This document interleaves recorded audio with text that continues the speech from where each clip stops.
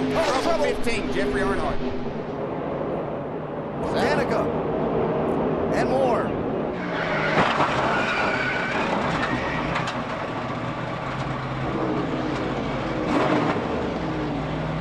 All right, just get it straight if you can. We're, I think we're done there, Tony Jr. We got turned to the inside. Wow. See how that steering column's Yeah. way up in the air. Yeah, 10-4. I can see it there. So what happens here? Well, they run up on. That's the exact same Well, thing he did. Same thing. Yeah. It's two in a row now. Ricky Stenhouse is spun. Hamilton might have got run into from behind. Man, that was hard.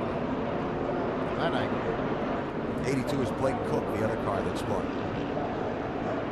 That's that now. He's sliding up to the right rear and getting over on the right side of these bumpers, and that just turns these cars around. Kind of the same thing with Brad Sweet, as you were saying.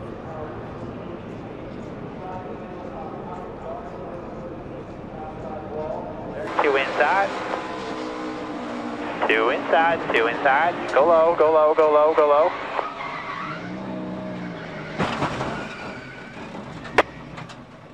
It's a bummer. Car was really fast, and uh, I feel bad for Tony Jr. I could, you know, I was surely disappointed, and I could hear it in his voice. Um, thought we were going to win tonight. So, you know, I was just saying it kind of felt like the IndyCar days when you were close a couple of times, and it's just frustrating when when that's the case. What are you going to do? You know, there was an accident happening in front of me, and the best thing that you can do is um, try and get around it. And uh, seen a replay, so I'm not sure exactly what happened, but I know there was an accident happening in front of me.